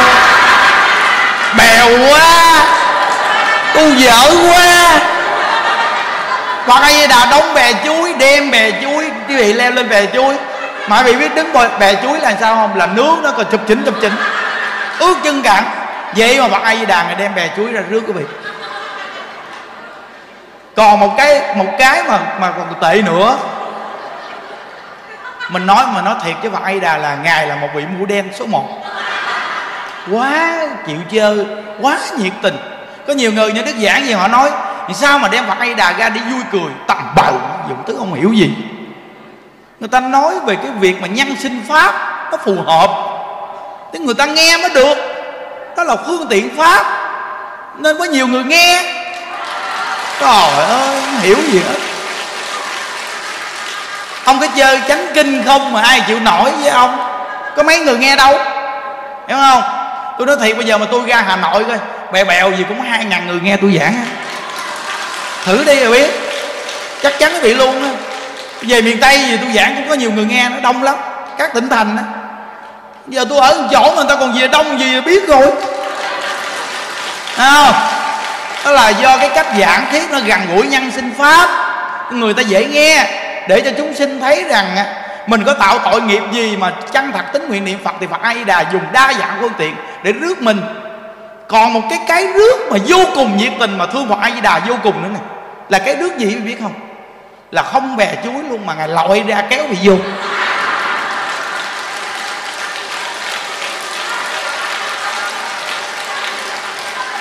Quá chịu chơi luôn. Thấy chưa? Bản thân mình nó phải thương vào a di đà vô cùng luôn. Giờ nhảy xuống nước lội ra kéo bị vô luôn. Vì hỏi, bạch đức thế tôn, vì sao đức thế tôn lại lội ra kéo họ vô? Nói vì cái công hạnh nó yếu ớt quá. Ta phải dùng cái cách này để đưa nó qua bờ bên kia vì khả năng của ta là một tay lội số một. Hiểu chưa? Còn quý vị không có khả năng cho bạn ai đà bị nhảy, bị kéo, nó kéo, bị chìm luôn. Còn bạn ai đà ngày lội số một, đô mà chết chìm. Nên ngày lội ra, ngày kéo quý vị vô. Quá từ bi luôn, đúng không? Ý muốn nói lên rằng quý vị dù có tạo tội nghiệp lớn lao gì chỉ cần chân thật niệm phật thì phật a di đà đều dùng đa dạng phương tiện để cứu độ quý vị theo công hạnh đâu à, nghe này thấy, thấy, thấy hấp dẫn không? Quá hấp dẫn luôn. Na bây giờ trở lại một chút nữa nè. Buôn bán căn già căn non. Mua bán bây giờ những đức hỏi quý vị đi mua đồ. Quý vị có muốn mua đồ căn thiếu không? Quý vị muốn mua giải dởm mà nói giải xịn không? Quý vị lường gạt người ta quý vị nói mặt hàng này là xịn số 1 mà quý vị lại đưa hàng dởm cho ta không? Nó, bây giờ quý vị đi quảng cáo đẹp quá trời, mà khi mà đưa hàng ra thì là hàng dởm. Quý vị gian lặng thì quý vị đừng có mong thành đạt. Mà cái quả báo gian lặng là quả báo gì? Là quả báo nghèo đời đời kiếp kiếp vì gạt người ta. Dũng lợi bây giờ bị đang giàu bị nói tờ nó gian lặng quá trời mà nó giàu quá trời giàu kìa ông thầy. Nó tào lao. Rồi nó giàu đi rồi mai mốt nó biết à. Nó giàu được bao lâu? Cái phước nó lớn quá trời luôn, bây giờ nó đang hưởng phước. Mà toàn mỗi ngày nó đi tạo nghiệp không? Gì mà giàu giàu bao lâu? Tới bây giờ. Cái người mà nói bây giờ cho dai ăn lời cắt cổ, hà hiếp người ta, rồi buôn bán gian lặng rồi quý vị biết cuối cùng ai lấy của quý vị không? Con bị gian lặng bao nhiêu người đời nhưng quý vị lại bị đứa con chơi, quý vị sát giác cái vị biết cái vị mới đau đớn có không? Có sao không có. Sửa lại đi. Đổi trái căn lại cho nó đàng hoàng. Đừng có làm cái trái căn mà không đúng đắn. Buôn bán cho đúng đắn đi, thì chắc chắn không có tệ đâu. Làm cho đàng hoàng hưởng phước của mình mà tăng phước. Đừng có hưởng phước mà tổn phước. Dạy lắm. Sửa đi. Quả báo đó vẫn là quả báo của tam đồ đó. Chứ không có đơn giản đâu nghe.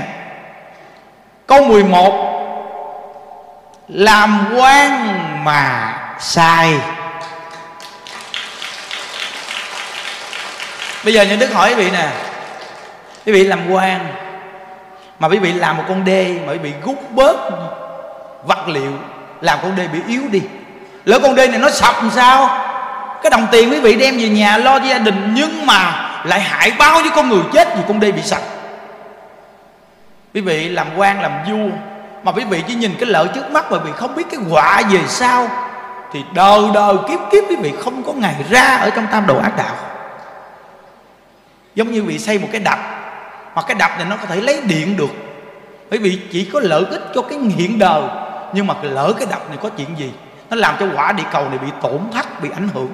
Thì quý vị biết cái, tội lỗi của cái người đó cỡ nào chưa? Đó cũng là kiếp nạn nhân sinh. Mà gọi là cái gì? Mà ma dương đến để xử lý việc đó. Không có giỡn đâu. Ma dương nó ghê lắm đó. nó đến nó làm cái ông lớn đó chứ không có giỡn đâu. Ông lớn của một nước mà dữ dằn dùng cái đầu óc thông minh nhưng mà lại là hại người. Ma dương đó, nó thông minh ghê lắm, nhưng mà cái thông minh nó là thông minh ác. Nên mình đã được làm quan quan. Người ta nói, ví như là làm quan như phụ mẫu. Mình không biết đạo rồi thôi, chứ biết đạo rồi suy nghĩ lại. Bây giờ một con đường mình làm, một cái cống mình làm, mình rút bớt đi để mình đem gì lo cho người thân gia đình mình. Nguy hiểm, lỡ nó ngạt nước người ta té xuống đó, người ta chết thì sao? Hoặc là người dân bị khó khăn vì buôn bán làm ăn, nước lũm chụm những cái việc này chúng ta xem lại nhân quả. Không nó thật sự quý vị nghe, nếu mà dạy nhân quả của người ta sẽ sợ lắm quý vị. Có một câu chuyện, ông này ông làm quan, mà bị vị biết rằng cái lúc mà đi cứu tế quý vị tò ô ông lấy vàng, ông bảy mươi phần trăm, ông để ba mươi phần trăm đi đi đi đi cho người ta thôi. Người ta chết quá trời chết luôn quý vị ơi mà ba ông làm chung với ông. Sau này ông đang ngủ với vợ gì, tự nhiên ọc máu đã chết tại chỗ. Con thằng con trai cũng chết bất đắc kỳ tử luôn. Xong khi mà người ta kêu hồn quý vị, người người xưa người ta kêu hồn kêu hồn lên thì kêu hoài kêu không được, kêu ông kêu không được, kêu thằng con trai thì được. Lên hỏi ba mày sao mà kêu hoài kêu không được? Là nói ba ông ở sâu dữ lắm. Ông thiện quá mà tại sao mà ở sâu mày? Nó tầm bậy ổng làm thiện là sau này còn cái ác của ngày xưa, ông làm chết bao nhiêu con người. Vì nhớ làm thiện là pháp tự lực. Niệm phật mới pháp nhị lực. Ghê không?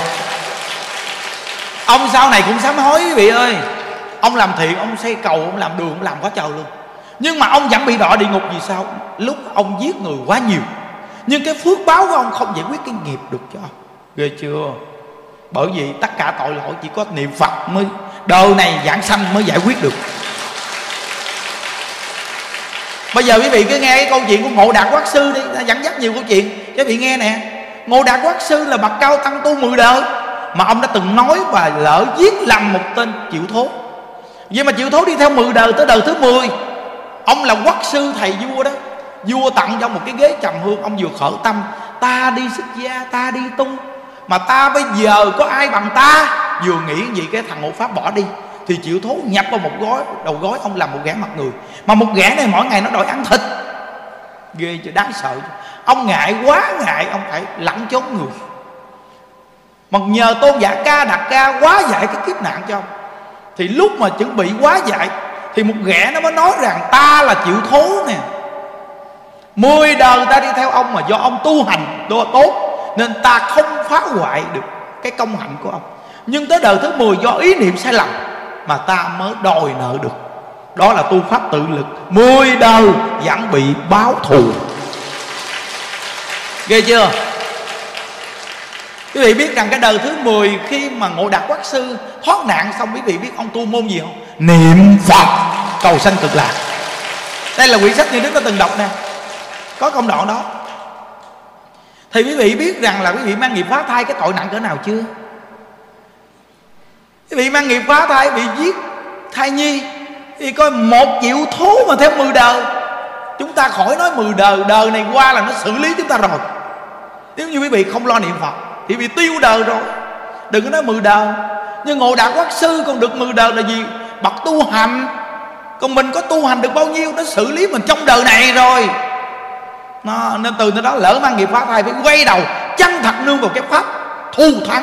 Pháp đại thừa niệm phật này nè. Đại thừa niệm phật. Nên mình nghe gì rồi, những đức nói ai mà không chấp nhận quý vị? Mình có quyền chức mà mình làm những cái việc mà công cán của người ta đổ vô mà mình đi lấy gì cá nhân. Người lắm. Nhớ cái câu nha lỡ lấy của một xã thì trả cho một xã lỡ lấy của cho một quyện thì trả cho một quyện lấy của một tỉnh thì trả cho một tỉnh. Như thế nào là một xã? Ông trưởng xã lỡ lạm dụng là lấy của một xã. Ông trưởng huyện lấy của là lấy của một huyện. Ông trưởng tỉnh lấy của là lấy của một tỉnh. Còn ông nhà nước lớn nhất mà lấy tiền thì lấy của một nước. Cái quả báo nó ghê lắm quý vị ơi. Nó không đơn giản đâu, hiểu không? Nên mình nhớ là đừng có làm cái chuyện mà ăn chung tội riêng quý vị ơi. Cái quả báo đến với mình ghê lắm á. Cái này là quý vị nói mình có nói ai đâu, cái nhân cái quả mà. Trong Phật pháp mình nói ra gì ai mà không chấp nhận. Đó. bây giờ dù người ta có nghe, người ta nói, thôi, ông thầy này ông giảng, ông cũng vì người ta thôi, chứ không có nói tên tuổi ai đâu. Mà nếu mình có phạm phải thì mình sửa đổi liền. Mình chăng thật mình quay đầu thôi, mình niệm phật ăn chay phước cho rồi đi. Sửa lỗi bằng cách sám hối vậy đó. Thì được rồi. No sửa sang sắc đẹp. Thời cuộc này nó đầy, đúng không? Cái này đụng nhiều nè. Đại lão hòa thượng tinh không giảng thiết nói rằng là sửa sang sắc đẹp là gì? Phá hoại hoàn cảnh tự nhiên. Cái nhân, cái quả quý vị khi sinh ra đời là cha mẹ sinh ra là nhân quả phù hợp. Quý vị thay đổi lại cái hình dáng quý vị là đang đi ngược quy luật tự nhiên. Quý vị biết bây giờ mà mưa gió thất thường là từ đâu ra? Không? là do rất nhiều người phá hoại hoàn cảnh tự nhiên mà ra đó. Từ hoàn cảnh là đất đai, cây cối nó không còn được bao nhiêu nữa. Nó trở thành công nghiệp hết. Nông nghiệp giảm tối đa bị xích lại, hiểu không? Thì cái quả địa cầu nóng bức lên, thì lúc đó kiếp nạn nó mới xảy ra nhiều thứ nên đó là cái hoàn cảnh bị ảnh hưởng lớn. Thêm một cái nữa loài người để điều chỉnh cơ thể. Có khi nam mà muốn làm nữ, có không? Đó, nam mà đi làm nữ và nữ nữ lại làm đám cưới. Nam nam lại làm đám cưới. Có nghĩa là cái hoàn cảnh tự nhiên nó bị phá hoại rất là nhiều. Rồi thêm nữa là cái miệng như vậy mà nó cắt làm sao cái miệng nhỏ lại con mắt như vậy mà nó cắt một cái con mắt thành ba mí. Cái mũi như vậy mà nó độ một cái dài thòn ra. Có cái cô kia có nói, trời ơi, thầy ơi, phải chi con nghe thầy giảng ba bốn năm trước, thì con đâu có bị những vấn đề này. Thầy coi cái lỗ mũi con ngay cái chỗ này, nó xanh lè xanh lét rồi bây giờ nó xanh lè xanh lét luôn, thầy ơi, thầy. Bây giờ con phải làm sao? Nó bà niệm phật đi. Chứ làm sao? Bà lỡ dính rồi. Tôi nói đây là tôi nói cái người mà lỡ sửa sang sắc đẹp thì cứ sống như vậy, cố gắng niệm phật để cho cái cơ thể mình nó hòa nhập thành một. Yeah. còn nói để cho cái người mà chưa sửa sang sắc đẹp thì thôi, đừng có đi sửa. Còn ai muốn đi sửa thì thôi, kệ người ta. Hiểu không? Có một cái cô này, cô là một cái nhà thẩm mỹ viện nổi tiếng ghê lắm. Cô có tổng cộng là khoảng gần ba chục cái thẩm mỹ viện nam bắc ghê thiệt chứ, nổi tiếng ghê luôn. Mà nó trẻ lắm, bằng tuổi nhân đức à. Quý vị biết rằng gặp như đức nói câu này dạ thưa thầy, đúng là thầy nói rõ ràng, cái nghề này ghê thiệt. Con là một người nữ bình thường thầy, bây giờ tự nhiên con trở thành một con người không thích chồng con nữa, mà con thích con gái. Tại vì sao? Vì quý vị thay đổi người khác nhiều quá, thì phước báo bị khi giảm đi thì tâm lý quý vị nó sẽ thay đổi. Ghê không? Quả báo nó ghê lắm. Mà còn quả báo nữa chưa nó rồi một ngày nào là tiền bạc có nhiêu bệnh hết trơn. Nó, có nghĩa là nó đã làm cái việc đi ngược lại định luật và tạo tội nghiệp thì tức khắc có quả báo lớn. Nó, bây giờ quay về tất cả tạo tội nghiệp trong cuộc đời. Vẫn có cơ hội được cứu. Vẫn có cơ hội được cứu nghe. Hồi nãy giờ là nói tạo tội nghiệp bây giờ là để cứu nghiệp cứu nghiệp. Mà chúng sinh chúng ta trong thời Phật pháp này tạo nghiệp rất nhiều. Mà để cứu được cái nghiệp này, mà để giúp cho nó siêu thoát thì chỉ có pháp môn niệm Phật. À. Bây giờ Pháp thì có rất nhiều Pháp, Trong tám vạn bốn ngàn Pháp môn Thì trong đó vẫn có Pháp môn niệm Phật. Tám vạn bốn ngàn Pháp môn đều là Pháp giải thoát. Nhưng mà mình không có thể nào làm nổi. Những Pháp khác mình không làm được nhưng có một pháp mà đức phật thích ca mâu ni, ngài nói một câu như thế này, giả thật sự như lai ưng sức thế duy thuyết di đà bổ nguyện hại. Quý vị phải nhớ rằng đức thích ca mâu ni khi ngài thành phật, ngài quán xét căn cơ rõ ràng và ngài định nhập niết bàn luôn.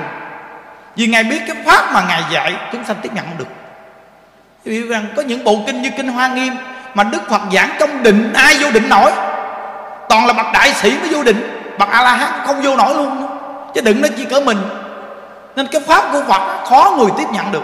Nên đức phật muốn nhập niết bàn vì không ai tiếp nhận được cái giáo pháp này. Nên bồ tát nó thị hiện làm người chờ xuống để mà thỉnh. Tại vì phật là bậc thầy của ba cõi. Từ nơi đó mà người chờ xuống đi thỉnh phật, trụ lệ thế gian. Mà trụ lệ thế gian là vì ai? Vì chúng sanh trong thờ mạt pháp. Nhớ kỹ quý vị nghe trong kinh đức phật nói rõ ràng không? Một phật xuống thế thì vạn phật ủng hộ. Vậy thì một hai trăm năm quý vị bậc a la hán kia là những bậc cổ phật bồ tát xuống để làm để tử phật thích ca mâu ni để cùng với ngài độ sanh trong thời cuộc đó. Quý vị nghĩ đi nè cái thời cuộc đó nước ấn độ nó có bao nhiêu tôn giáo? Mà trong khi á, cái đạo bà la môn giáo là trước cái thời đức phật bao nhiêu ngàn năm? Nó, cái gốc nó cứng còn hơn cái gì, làm sao đạo phật giải quyết được vấn đề đó? Nên những vị rất là học giả giỏi như bậc xá lợi phất, tôn giả một kiền liên, rồi a nan, toàn là những bậc giỏi không? Mà đi theo phật thì sức ảnh hưởng của phật lớn lên. Thì đức phật mới lập thành một cái giáo đoàn của đức thế tôn. Để lúc đó rồi mới có thể độ sanh được trong thời cuộc đó. Nếu mà không phải phật bồ tát xuống thế, thì làm sao người nào làm được những điều này? Thì một phật xuống thế vạn phật ủng hộ. Vậy thì thời chánh pháp là phật bồ tát xuống để thị hiện làm đệ tử phật, để chứng quả a la hán tại vì sao? Đạo bà la môn giáo có thể dạy con người ta, có thể đi đến từng chờ, vô sắc giới thiền nhưng mà không vượt ra khỏi từng chờ, vô sắc giới thiền có nghĩa là không vượt qua khỏi. Nên phật thích ca mâu ni đến dạy thêm một chút nữa để vượt ra khỏi cái từng chờ vô sắc giới thì thì mới chứng quả a la hán thì vị biết rằng là thời chánh pháp là phật bồ tát xuống thế để độ sanh, hiểu không? Mà là thị hiện. Thời tượng pháp vẫn có người tu hành chứng quả. Mà thời mạt pháp thì cái việc chứng quả không có. Nên phật thích ca mâu ni ngài chỉ điểm niệm phật. Vậy thì chúng sanh chín ngàn năm trong thời mạt pháp là nhờ pháp gì? Niệm phật. Chúng sanh chín ngàn năm trong thời mạt pháp quý vị coi, từ bây giờ cho tới chín ngàn năm của thời mạt pháp, bây giờ chưa được ba ngàn năm. Mà giáo pháp đức thế tôn 12 ngàn năm. Quý vị, tụng trong kinh vô lượng thọ, khi giáo pháp đức thế tôn diệt tặng thì kinh vô lượng thọ lọ, kinh vô lượng thọ lưu hành là 100 năm. Mà khi kinh vô lượng thọ diệt luôn qua 100 năm, thì còn có một câu ai với đạo phật. Mà quý vị, bây giờ là người niệm phật. Quý vị, phải là người sanh trong thời chánh pháp không? Quá đặc sắc, quý vị không nhận không? Quý vị là căn tính mạt pháp mà lại phù hợp vào chánh pháp. Tại vì bị tin tịnh độ. Đó nên tạo cái nghiệp chướng gì? Nhưng chân thật quay đầu liền. Niệm phật ăn chay. Tính nguyện cầu sanh cực lạc cho mạnh. Có cơ hội được tu. không, những người ta nghe hồi nãy tới giờ quý vị, những cái điều tạo tội nghiệp người ta, khi mà người ta gặp nạn, gặp sự cố, người ta sẽ bám víu câu ai cho đạo phật bám víu câu ai với phật vì bám víu người không nổi. Không ai cho mình bám hết trơn á. Bám con bám được, bám chồng bám được, bám vợ bám được, bám của cải không được. Có những căn bệnh đau mà tiền không trị được. Mà có khi giàu mà buồn buồn thiệt buồn mà không giải quyết được luôn. Ghê không? Như vậy mà Phật pháp giải quyết được cái buồn khổ. Hay quá hay. Đó.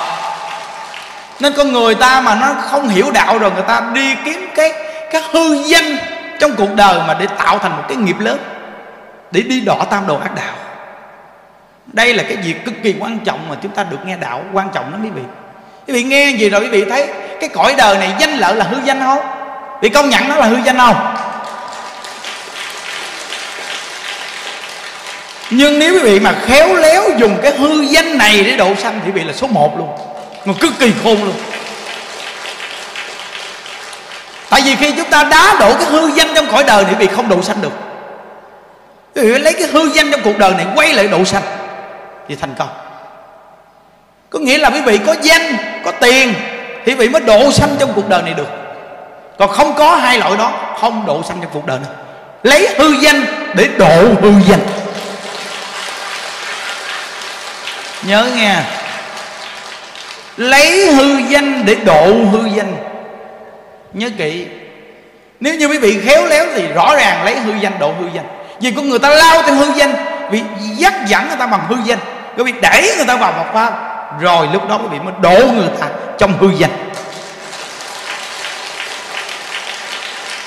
Quý vị thấy những đứa học Phật những đứa đâu có tiền đâu nhưng mà do cái danh những đức có nên tiền nó mới đến với những đức rồi những đức mới dùng danh, dùng tiền này, những đức mới đi làm việc cho quý vị. Rõ ràng không? Làm việc cho quý vị, chứ những đức có các bạn nào đâu. Có công ty kinh doanh làm tiền bạc gì đâu có đâu. Không có ai là một người đứng ra rõ ràng hỗ trợ như đức chứ. Nhưng mà do quý vị thấy như đức làm được, nên quý vị mới ủng hộ. Ủng hộ. Thì những đức mới nhiệt tình làm việc cho quý vị à, những đức rõ ràng là đang làm công như quý vị đó. Làm công mỗi ngày đó. Thì quý vị cứ coi chùa mình bây giờ gần hai ngàn người mà sống trong đây nhiều người già sống trong đây. Thì giờ quý vị quý vị ủng hộ những đức để mà làm việc này là những đức đang làm phước duyên dùm cho quý vị đó. Nhớ phải làm công không? Rồi quý vị coi thứ bảy rồi lên nói chuyện khô hơ cạn tiếng rồi ăn uống cái gì? Rồi làm cho người ta phải vui, cho người ta ăn ngon, cho người ta cười, người ta vui để nghe pháp. Phải làm công không? Đó. Rồi trung thu tổ chức, rồi những đức chơi trung thu gì? Mà mong người ta được chơi vui, cho người ta được vui vẻ để nghe pháp. Phải là làm công không? Đó. Rồi lại quan âm ba ngàn lại tôi nghỉ ngơi đi chứ bắt chi mà lại cho chết mồ hay chi? Vậy đó mà cố gắng lôi đầu ra để mà cố gắng làm. Làm nhiệt tình hết mình, thuyết pháp khô hơn cạn tiếng rồi được cái gì? Đó. Dù có đưa bao nhiêu tiền cái chăng nữa có xài gì đâu. Quanh năm chưa từng đi chơi ở đâu. Rồi ăn uống thì trong chùa không ăn cơm không? Rồi đi qua đi lợi chùa chuyện có bao giờ mà ghé chỗ nào quán cà phê hay đi chơi ở đâu như ngày xưa đâu? Vậy thì bây giờ rõ ràng Phật pháp khi học được, tự nhiên nhiệt tình vui vẻ làm công mà phát tâm. Hay cái chỗ này. Làm công mà phát tâm mới ghê chứ. Hiểu không? Người ta làm, người ta còn nghỉ lễ. Còn này lễ thì càng tăng ca. Thì công nhận không? Chùa mình là lễ là tăng ca, tết là tăng ca. Còn quý vị thì còn nghỉ lễ, nhưng chùa mình tết lễ là tăng ca không à? Vì coi chùa mình bây giờ tết làm việc càng nhiều. Khắp nơi nơi gì ở đây ăn tết thì phải lo đủ chuyện. Nó phải lo đơn giản mà phải còn lo nấu ăn cho người ta thay đổi nữa chứ. Đâu có đơn giản đâu mà còn phải thuyết pháp nữa, mà nói chuyện cho người ta cừ. Rồi làm trò nữa chứ. Thấy nhìn đến làm trò chưa? Làm trò này, trò nọ, đi tới, đi lui. Làm mặt này, mặt nọ, làm miệng này, miệng kia, làm đủ chuyện để cho người ta ngồi với người ta cười. Thấy không? Cái vai trò của phật bồ tát đủ trò để làm nhớ. Đủ trò để làm thì mình phải học cho phật bồ tát phải học theo các ngài để mình làm được chút. Hiểu chưa? Nên từ nơi đó mỗi một con người chúng ta học phật rồi, chúng ta làm cho chúng sanh quan hỷ. Hiểu không? Làm chúng sanh quan hỷ. Nên tất cả những người tạo nghiệp lớn lao gì trong cuộc đời này, gặp được pháp môn tịnh độ là có cơ hội được tu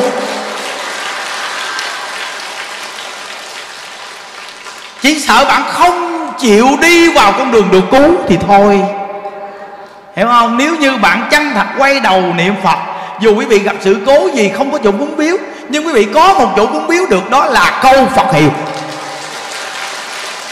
Đó là câu phật hiệu. Khổ đau cỡ nào sự cố cỡ nào bị bỏ rơi cỡ nào mất hết tất cả sạch luôn. Quý vị vẫn được cứu. Chỉ cần niệm phật là được cứu. Niệm phật là được cứu. Cái đoạn sau này nè nó mới, mới, mới, mới kết luận đặc sắc nè thấy không? Nên từ nơi đó mà mỗi một con người mà nghe gì nó hừng hực cái tâm. Nó cái sao mà nó hừng hực cái tâm lên mới dữ chứ. Đúng không? Những đức nói bị nghe chứ bậc A Di Đà mà đem xuồng ba lá đến trước chúng ta vẫn hạnh phúc. Đúng quý vị. Đừng có nói xuồng ba lá bây giờ bậc A Di Đà mà lội ra kéo mình vô mình quá hạnh phúc mà. Hiểu không? Nào bây giờ quý vị quý nhà đức một chút xíu thôi. Mà nhà đức nắm tay quý vị rồi quý vị ra thấy mừng, thấy vui. Chứ Phật ai Di Đà? Hiểu không? Nè, bây giờ đưa tay cái là nắm tay một phát là thấy là quá quý rồi, thì còn gì nữa? Chứ không chỉ là phật ai di đà. Nên cuộc đời chúng ta là thật sự mà nói phật ai di đà ngày ưu ái cho chúng ta dữ lắm. Phật ai di đà ngày ưu ái chúng ta dữ lắm quý vị ơi bây giờ quý vị đang ngồi ở đây là giống như quý vị đang ngồi trong quang minh phổ chiếu bao trùm quý vị. Nếu như mà ai mà có thiên nhãn nhìn một cái, cái ngôi chùa này đang được sáng đâu có giỡn đâu. Vì ngồi một tiếng mấy đồng hồ mà tâm trạng bị sao? Thì vì biết quý vị đang sống trong quang minh sao à? Đúng không? Quá tự tại nên các hương linh thai nhi vì nghiệp phá thai của quyền thất tổ ông bà chưa siêu thoát hay người chết quan chết đức chưa siêu thoát. Nghe như vậy để buông tâm hận thù đòi nợ đi. Buông xuống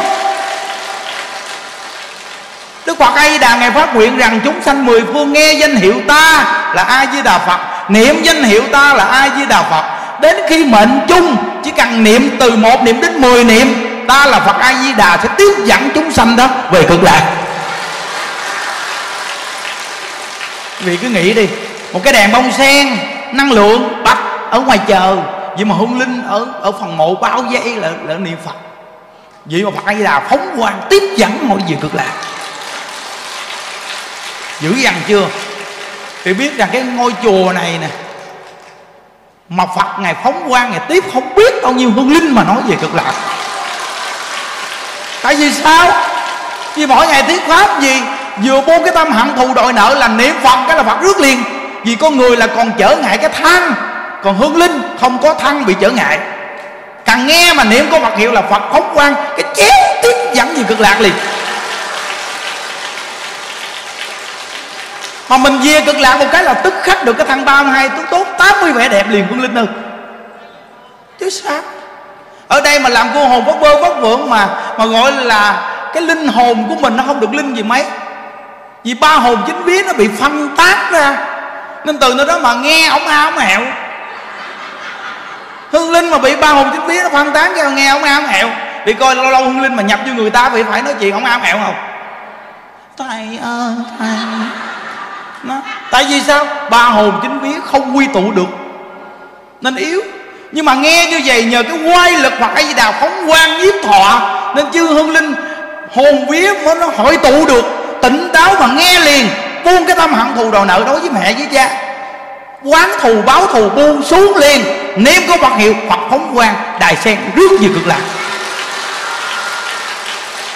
Quá thù thắng. Nên những người mà mang cái nghiệp phá thai đi về chùa mình là cơ hội để giải nghiệp mau nhất chứ sao? Cái bổn nguyện niệm phật thù thắng lắm. Danh hiệu phật a di đà là số một. Hãy siêng năng niệm phật quý vị ơi. Nhớ nghe. Chân thật niệm phật, thọ mạng chưa hết, nước ở dưới nước không chìm, ở trong lửa không cháy. Vì sao nói ở trong lửa không cháy? Vì khi quý vị ở trong lửa, thọ mạng đến, hoặc rước cái linh thức quý vị về cực lạc rồi, thì làm gì bị cháy? Hiểu không? Còn bây giờ quý vị về, quý vị thử, quý vị lấy lửa đốt cái tay cái động đó nghe. Tay cái này là quý vị thử đâu phải là bổn nguyện vậy bổn nguyện lòng tin là gọi là mình trong lửa mà mình cầu sanh cực lạc, mình ngồi xuống mình niệm phật, là phật rước mình trước khi lửa chưa cháy. Rước chưa cháy, còn cái thân này nó cháy thằng tứ đại sao không cháy thằng tứ đại là đất nước gió lửa hợp thành, nên lửa kết hợp với lửa, nước kết hợp với nước, gió kết hợp với gió, đất kết hợp với đất. Thân tứ đại thì kết hợp với tứ đại, còn linh thức hoặc rước thì cực lạc, nên gọi là trong lửa không cháy, trong nước không chìm. Cái này nguyên lý mình phải hiểu nè, chứ không phải là chấp mà không hiểu cái chuyện, bây giờ đốt ông có cháy không? Sao không cháy? Thăng tứ đại mà gì không cháy? Nhưng mà tính nguyện niệm phật hoặc rước lương thức mình đi gì trước. Nên bây giờ cái thân này có bị cháy cơ nào cũng không sao. Đúng rồi. Nó này là quan trọng đó nghe. Chứ không thôi mình nói gì, có nhiều người người ta chấp vấn vì vì không biết trả lời. Nghe câu này để trả lời cho người ta nghe. Đúng không? Không bài giảng này đặc biệt quý vị ơi. Sao bài nào cũng đặc biệt cái chứ nghe. vì thấy ngồi đau chân xứng đáng không? Đó. Bây giờ chúng ta cùng đọc 12 lời đại nguyện. Để người sống, người chết gì cũng phát nguyện sanh cực lạc này quý vị ô kính lại phật di đà. Con nay xin phát nguyện. Thường xuyên đảnh lễ ngài. Cho đến lúc lâm chung thân thể không đau bệnh. Kính lại phật di đà. Con nay xin phát nguyện. Thường xuyên đảnh lễ ngài. Cho đến lúc lâm chung. Tâm hồn không hôn mê. Kính lại phật di đà. Con nay xin phát nguyện. Thường xuyên đảnh lễ ngài cho đến lúc lâm chung. Không tham đắm ngũ dục. Kính lại phật di đà. Con nay xin phát nguyện. Thường xuyên đảnh lễ ngài. Cho đến lúc lâm chung. Tâm niệm phật di đà. Kính lại phật di đà. Con nay xin phát nguyện thường xuyên đảnh lễ ngài. Cho đến lúc lâm chung. Xả ly ta bà khổ. Kính lại phật di đà. Con nay xin phát nguyện. Thường xuyên đảnh lễ ngài. Cho đến lúc lâm chung. Hăng nguyện về tịnh độ. Kính lại phật di đà con nay xin phát nguyện. Thường xuyên đảnh lễ ngài. Cho đến lúc lâm chung. Con thấy kim thân phật. Kính lại phật di đà. Con nay xin phát nguyện. Thường xuyên đảnh lễ ngài. Cho đến lúc lâm chung. Phật phóng quang nhiếp độ kính lại phật di đà. Con nay xin phát nguyện. Thường xuyên đảnh lễ ngài. Cho đến lúc lâm chung. Liên qua con quá sanh. Kính lại phật di đà. Con nay xin phát nguyện. Thường xuyên đảnh lễ ngài. Khi vãng sanh tịnh độ hoa nợ tâm khai ngộ. Kính lại phật di đà. Con nay xin phát nguyện. Thường xuyên đảnh lễ ngài. Khi vãng sanh tịnh độ. Chứng ngộ pháp vô sanh. Kính lại phật di đà. Con nay xin phát nguyện. Thường xuyên đảnh lễ ngài khi vạn sanh tịnh độ chống viên thành toàn giác. À, mỗi người mình ở nhà chưa có tượng phật nên thỉnh tượng phật thờ ở nhà. Chút à, xong lên đây những đức tặng phiếu cho và thỉnh bộ tam thánh về nhà thờ. Rồi mình có thỉnh dùm cũng phải chỉ người ta thờ. Và công phu hai thờ sáng tối ổn định nghe pháp chỉ cho anh ta nhớ. Nên á gia đình có ngôi tam bảo có niệm phật thì nó tiêu đi cái quán khí trong nhà. Ma tà quỷ quái không dám vô. Nhớ nghe quý vị. Quan trọng á cái thời cuộc này ma tà quỷ quái đầy đó. Nếu nhà bị không tu mà quán khí là chiêu cảm quán khí đó. Nên bây giờ mình phát á, cái tâm thiện ở trong nhà ra để nó tiêu trừ đi quán khí, thì người ta không có quấy rầy trong gia đạo vậy, nó sẽ được bình yên. Nên công phu hai thời sáng tối tại gia đình, thấy không? Rồi một chút nè, những đức niệm phật quý vị chắp tay lên cái điệu mà hộ niệm, quay phim lại kỹ nghe, để làm cái đoạn này để mai mốt hộ niệm tại gia mà có cái hội chúng này luôn. Đúng không? Bữa nay ai mà đi là là là, là đủ duyên đặc biệt lắm. Cái chú quay cho kỹ nghe. Hộ niệm mà nguyên cái hội chúng này á là cái lúc hộ niệm á nghe là tin chắc rằng là quan gia mà muốn đến đòi cũng cũng thấy cũng ớn lắm. Thấy đông người niệm cái lực đó quý vị. Những đức ngồi đây niệm cùng luôn với niệm với đại chúng. Những đức niệm câu vì niệm câu. Rồi xong mình làm cái điệu hộ niệm này để sau này chúng ta áp dụng tại gia có một cái tivi là bật lên cái là hộ niệm luôn. Tại gia nghe quý vị. À. bây giờ chúng ta chắp tay hồi hướng cái quý vị ơi.